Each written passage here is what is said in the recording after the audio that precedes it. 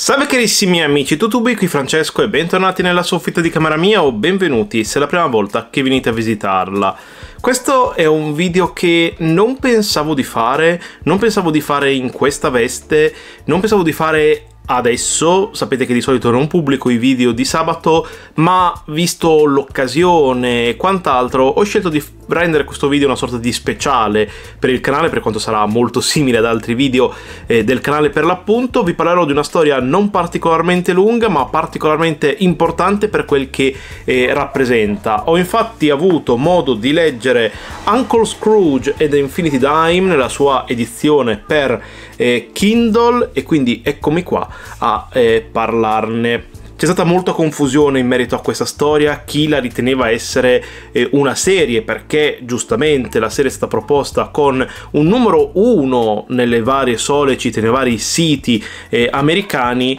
ma eh, giustamente anche i singoli one shot vengono in un qualche modo numerati per essere catalogati in una qualche maniera. Giustamente un lettore non avvezzo al mercato americano questa cosa qui non se la poteva eh, aspettare o non poteva eh, saperla. Sono uscite poi tutta una serie di cover variant delle quali ne ho prese ben due. Ho preso sia l'edizione regolare che un paio di variant ve, ve le avrei volute far vedere ma eh, ancora non mi è arrivata l'edizione cartacea. Comunque l'edizione regolare vede questa splendida cover ad opera di eh, Alex Ross una cover veramente magnifica come solamente questo autore americano saprebbe eh, farci saprebbe darci. La storia è orchestrata su quattro capitoli presenti tutti e quattro dentro all'interno di questo singolo volume, quindi analizzeremo tutta la storia nel suo insieme, ma eh, prima di analizzarla, sigla.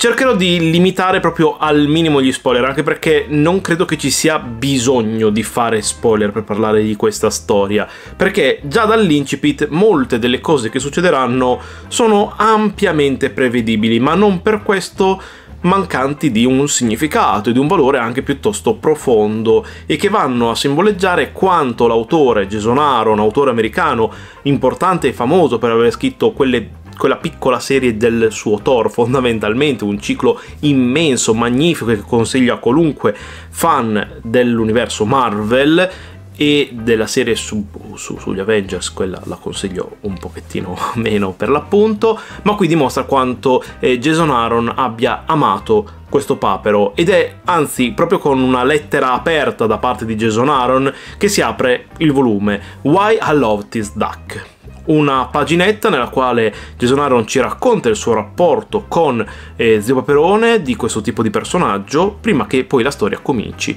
in maniera proprio eh, effettiva. Una storia che inizia ricollegandosi proprio al Natale sul Monte Orso, con un paperino e qui qua che decidono di fare un qualcosa di diverso e quindi proprio in virtù di questa decisione completamente differente, Zio Paperone non avrà mai l'occasione, l'opportunità di incontrare Paperino e i nipotini di stringere un legame con loro e questo lo porterà ad essere ancora più solitario, ancora più eh, arcigno, ancora più eh, arrabbiato con tutto e con tutti, al punto che deciderà, complice anche un certo determinato strumento, di andare in giro per il multiverso a eh, rubare e derubare fondamentalmente le numero uno e i depositi degli altri paperoni del multiverso. Ed è proprio in relazione al fatto che tenterà di fare questa cosa al nostro paperone, definiamolo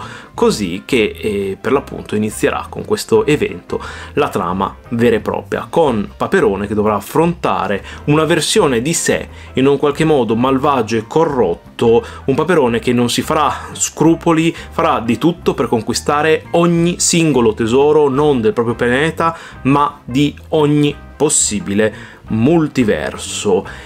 e questa qui è di fatto la trama di fondo, con quello che potremmo aspettarci come naturale conseguenza, con un nostro paperone che dovrà trovare il modo di eh, affrontare il viaggio, trovare e eh, affrontare la sua nemesi. Una nemesi che in questo caso è una nemesi proprio per eccellenza, è la sua versione antitetica, anche se differisce apparentemente per un unico elemento, un unico elemento che però lo rende una versione completamente malvagia di sé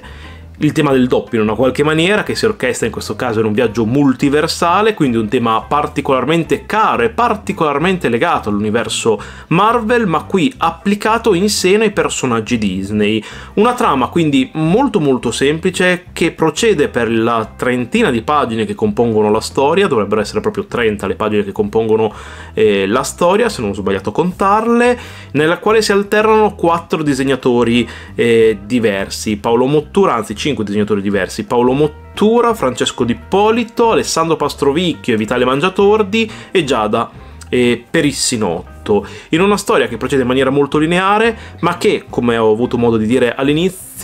eh, ci mostra quanto il personaggio di Paperone sia stato amato da Jason Aaron. Perché? Perché riesce con poche battute, in alcuni momenti chiave, a ritrarre alcuni degli aspetti più significativi del personaggio, a metterli in luce per quella che è la visione che si ha anzi che Gesù non ha del personaggio, una visione lievemente distinta, leggermente differente da quella eh, nostrana, più legata, se vogliamo, all'immaginario e all'universo di Don Rosa e all'universo di DuckTales. Basti pensare che le prime pagine del secondo capitolo, quello disegnato da Francesco Di Ippolito, si aprono con un viaggio in aereo che ricordano molto più le storie di DuckTales che non eh, le storie per l'appunto di eh, Karl Barks o di Don Rosa, ma che comunque è un immaginario molto caro all'universo americano e alcune battute che Paperone fa nel corso della storia non mi sono sembrate eh, adattissime al 100%, mi sono sembrate cioè, o meglio, non è che non mi siano sembrate adatte, sono adatte al tipo di personaggio per l'interpretazione che, che si ha in America del personaggio, tramite per l'appunto la visione di DuckTales e le storie di eh, Don Rosa in primis e di Karl Barks. Un tratto distintivo, un tratto linguistico leggermente diverso, ma che comunque è funzionale, è funzionale alla storia e che comunque nonostante queste lievi differenze, mm, sto pensando ad un Artibani, non lo farebbe parlare in questa maniera Zio Paperone, ma eh, ho citato Artibani non, non, per caso perché in Zio Paperone e l'ultima avventura ha ritratto Paperone secondo me definitivo e Jason Aaron sembra riprenderne certi suoi aspetti di quella versione di Zio Paperone, tanto per simboleggiare quanto questo questo personaggio sia eh, universale e quindi di conseguenza sia affrontabile da tantissimi autori diversi e se ne si estrae il nucleo del personaggio e lo si mette in un qualche modo eh, a nudo, si ha quindi modo di vederlo per quello che è, per come è, al di là delle differenze linguistiche o del tipo di storia che si va a costruire attorno a questi personaggi. Se il nucleo del personaggio rimane coerente con se stesso, allora la storia rimane coerente con se stessa. Una storia suddivisa, come dicevo, in eh, quattro capitoli per come l'andiamo a vedere eh, per quello che è per l'appunto la struttura di questa storia. Sappiamo bene che le storie usualmente sono divise in tre atti, fam le famose storie a tre atti, dove si ha un inizio con eh, la problematica che emerge, un secondo atto dove si va a ricercare una soluzione per il problema per l'appunto presentatosi e un terzo atto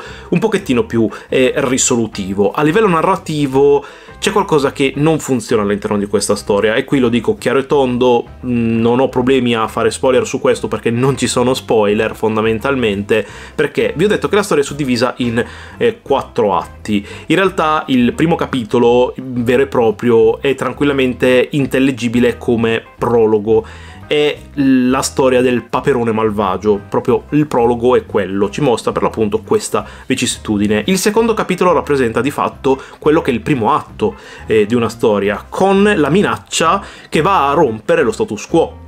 lo status quo eh, usuale dei nostri eh, personaggi. Il capitolo 3 della storia però si presenta come già l'elemento risolutivo, manca completamente all'interno di questa storia un secondo atto o meglio è presente è intellegibile un secondo atto, ma viene limato all'osso per favorire scene decisamente più eh, di ampio respiro, decisamente più eh, di intrattenimento, decisamente più eh, d'azione rispetto a quello che mi sarei aspettato o a quello che eh, avrei voluto leggere all'interno di questa storia. Quindi il secondo atto, che era un po' quello che mi interessava in realtà, perché la premessa narrativa ok, quella lì ce l'avevamo e le potevamo leggere nelle sollecite americane. La risoluzione, per quanto mi riguarda, era abbastanza scontata in realtà è perfettamente in linea con il tipo di storia che ci viene proposta e con la narrazione che ne viene fatta, quindi nulla di male, non sto dicendo che se è scontata allora la storia è brutta, tutt'altro, il fatto che sia coerente a me è una cosa che piace,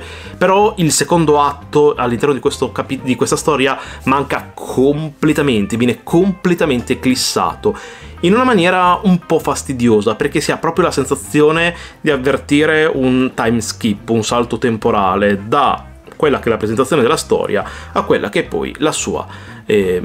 conclusione e il tentativo per l'appunto da parte dei protagonisti di risolvere la eh, situazione. E poi presente, ve l'ho detto, un quarto capitolo disegnato da Giada Perissinotto che di fatto è l'epilogo, sono letteralmente le ultime due e pagine. Al netto di un secondo atto mancante, in maniera quasi completa, la storia risulta quindi comunque comprensibile e decisamente più virata sull'aspetto action, decisamente più virata eh, all'azione e un pochettino meno all'introspezione, finendo quindi per essere di fatto un giocattolone e molto probabilmente il giocattolone che potremmo aspettarci fin dall'inizio eh, della lettura di questa storia. Vi dicevo che quattro sono i disegnatori e, e spero di farvi vedere qui da qualche parte, la mia destra o la mia sinistra, alcune delle tavole. Avrò selezionato eh, indubbiamente le cose meno spoiler possibili. Per quanto riguarda l'epilogo, penso che vi farò vedere una singola vignetta, semplicemente per il fatto che eh, Giada Perissinotto all'interno del, del, suo epilogo mostra praticamente ogni cosa della storia, quindi cerco di limitarmi e di mostrarvi una singola vignetta per mostrarvi per l'appunto lo stile estetico. E in realtà secondo me l'epilogo è la parte meno riuscita. Giada Perissinotto ha uno stile che secondo me non era del tutto adatto all'interno di questa storia perché perché ha tutto un secondo e terzo atto, è molto muscolare, molto muscoloso, molto possente. Eh, Francesco Di Ippolito, eh, Alessandro Pastrovicchio, Vitale Mangiatordi, sono tutti autori che anche sulle pagine del Topolino ho sempre avuto modo di dire che hanno uno stile molto muscolare, molto legato, molto vicino se vogliamo a, eh, allo stile anche di Lorenzo Pastrovicchio già da Perissinotto l'ho sempre vista con un pochettino più delicata in una qualche maniera, molto adatta ad altre tipologie di storie, qui l'ho trovata un po' stonata e soprattutto con troppi personaggi da mettere in scena in pochissimo tempo non è, la sua parte non è particolarmente confusa, però non l'ho trovata del tutto a suo agio. Si tratta comunque di un paio di eh, paginette e in realtà lei è l'unica disegnatrice immediatamente riconoscibile all'interno del roster di disegnatori. Questo perché, come ho avuto modo di dire, Francesco Di Ippolito, Alessandro Pastrovicchio Vitale Mangiatordi, che costituiscono il nucleo centrale di questa storia, hanno uno stile molto muscolare che complice anche il, la, il chinatore e la colorista, in questo caso Arianna Consonni, tende un po' tutto ad amalgamarsi. Ad un'occhiata un pochettino più attenta sono tre tratti molto distinguibili, quindi riconoscibilissimi per gli amanti e per i conoscitori ecco, dello stile eh, visivo, ma eh, ad, un, ad, una lettura un pochettino più distratta, ma neanche più di tanto, cioè leggendo semplicemente la storia e non è detto che si possa riconoscere effettivamente eh, questo cambio di disegnatore, non è così immediato, complice in realtà anche il fatto che non sempre ci sono tutti i personaggi in scena, quindi questa cosa qui magari ha anche aiutato, però mh, mm, non, diciamo che secondo e terzo atto se mi avessero detto che c'era un unico disegnatore ci avrei creduto anche Paolo Mottura, che introduce la storia, è molto poco Paolo Mottura. Lo, il suo stile particolarmente sporco qui viene praticamente limato all'osso, è uno stile decisamente molto, molto, molto, molto pulito, molto asciutto, eh, ha qualche ombreggiatura un pochettino più particolare. In alcune pose si intuisce che sia suo il tratto, ma anche qui se mi avessero detto la storia disegnata tutta da un unico disegnatore, ci avrei quasi potuto credere. Ok? Tranne per l'epilogo. L'epilogo sicuramente era un'altra mano in maniera molto tangibile. Mm, questo un po' mi dispiace perché i nostri autori non sono stati secondo me valorizzati al massimo, per quanto lo siano stati, credo che siano stati felici di partecipare a questo tipo di iniziativa, ma si vede che eh, hanno molto, in un qualche modo, omogenizzato lo stile, hanno cercato di rendere il loro tratto il più simile, il più pulito, il più regolare possibile, complice probabilmente il fatto che doveva essere una pubblicazione così o particolare, così, ehm, così alla, doveva essere alla porta di tutti, doveva essere una storia per la Marvel e quindi si è cercato di essere il più lineare, il più puliti eh, possibili. Mi è spiaciuto in parte, ma indubbiamente alla fine eh, quello che si può leggere all'interno di questa storia è uno stile decisamente molto molto pulito e quindi proprio preciso, pulito molto molto molto. La colorazione è comunque buona, con delle buone eh, ombreggiature, con dei bei giochi di luce e ombra, e con anche quando ci sono diversi personaggi in scena hai sempre bene l'idea di chi siano i personaggi anche semplicemente guardando la loro palette cromatica, che sembra una banalità da dirsi, ma non lo è. Quindi Ok, uh, secondo me è stato fatto un buon lavoro anche sotto questo punto di vista e sono quindi stato piuttosto contento del lavoro svoltosi proprio all'interno di questo eh, capitoletto. Capitoletto di una trentina di pagine vado a eh, ricordarvi. Indubbiamente il fatto che in casa Marvel abbiano voluto riomaggiare il personaggio di eh, Paperon de Paperoni è molto importante e spero che possa portare ad avere altre storie di questa caratura. Una storia che non è un capolavoro, non lo è, sotto tantissimi punti di vista, non è una storia che verrà ricordata negli annali come la migliore storia sui paperi, è una storia che ha un gusto molto differente da quello nostrano, quindi per gli amanti dei fumetti Disney in Italia questa storia, questa storia potrebbe non piacere del tutto, me ne rendo assolutamente conto, perché è proprio uno stile, un gusto anche di scrittura molto difforme quindi immagino che questa storia possa in realtà piacere in primis agli amanti della Marvel, che potranno trovarci un autore importante a scrivere questa storia e uno stile che va a ricordare molto eh, per l'appunto lo stile Marvel, ma al tempo stesso una chiave di lettura così universale sul personaggio che è molto legata a com'è davvero il personaggio. Quindi, eh, per chi non conoscesse Zio Paperone, qui ci troverebbe davvero l'essenza del personaggio e potrebbe quindi andare a ritrovarla in eventuali altre letture che potrebbe fare nel corso della sua vita e della sua eh, carriera. All'interno dello spillato americano, oltre alla storia Uncle Scrooge and Infinity Dime, è presente eh, integralmente Natale sul Monte Orso, quindi Christmas on Beer Mountain di Karl Barks, la storia dove è nato Zio Paperone. Non ho capito il perché di questa scelta, ma me la faccio andare eh, bene così. E in fondo c'è un pochettino di mm, bozze bozzette e un teaserino di eh, What If che del primo What If che uscirà prossimamente, disegnato da, da Giada Presinotto, con mm, Paperino che per qualche motivo vesterà i panni di eh, Wolverine. Ve lo dico qui come unico spoiler di tutta quanta eh, la storia. Eh, ero abbastanza convinto, visto che c'era questa linea What If con Paperino protagonista, che eh, queste versioni di Paperino le avremmo viste all'interno della storia, e invece no non, non c'è Paperino Thor e non c'è eh, Paperino Wolverine. Mm, né eventuali altre versioni di Paperino che eh, potrebbero uscire prossimamente perché sicuramente quella linea editoriale non finirà con quei due capitoli, sono abbastanza certo, abbastanza sicuro, però me lo faccio andare più che bene. Così Uncle Scrooge and Infinity Dime è sicuramente una storia molto interessante che vi consiglio di recuperare sul Topolino di prossima uscita, perché sul prossimo numero di Topolino, il 3579, sarà presente questa storia. Ho un po' paura di vedere non tanto come verrà adattata, perché non è che ci siano cose molto strane da adattare, quindi mi immagino che l'adattamento possa essere abbastanza semplice e lineare a livello di mh, mm, testi ma l'impaginazione mi preoccupa alquanto perché la diagonale delle storie americane è molto più alta, è molto differente. Il nostro topolino è sì rettangolare ma è quasi più quadrato. Marvel è molto più propenso ad andare verso l'alto, è molto più alta, una diagonale completamente diversa, ho paura che possa esserci fin troppo margine eh, all'interno delle pagine di Topolino, ma quello lo scopriremo per l'appunto eh, quando uscirà la storia sul Topolino è indubbiamente una storia che va a rivalorizzare questo personaggio e questi personaggi anche nel mercato americano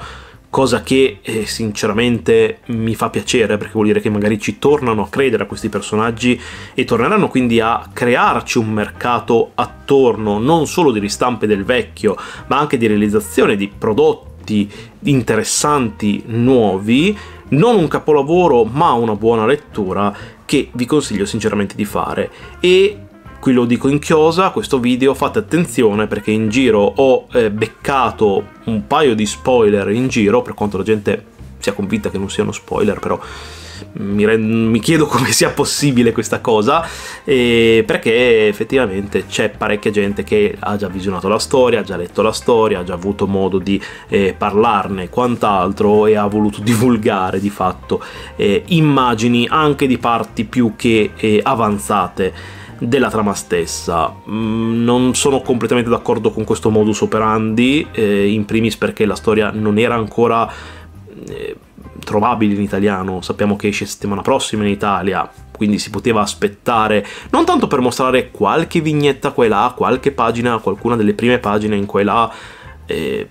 penso che si possa e si voglia fare per invogliare l'eventuale lettore, indubbiamente mostrarmi una scena clou della storia stessa va a rovinare molto dell'impatto che quella scena possa avere nel corso della lettura. A me sinceramente l'ha rovinata averla vista eh, in anticipo e sinceramente questa cultura dell'hype per, per la quale mi sono sentito costretto a dover leggere la storia eh, tanto da arrivare ad acquistarla in digitale nonostante io abbia acquistato tre copie cartacee di questa storia della versione americana perché se accedevo ai social andavo a rovinarmi la lettura, mi sembra che si stia passando decisamente un po' troppo eh, il confine, decisamente un po' troppo. Va bene essere fomentati, va bene essere in hype, ma andare a mostrare parti clou della storia che vanno a rovinare l'esperienza dell'utente,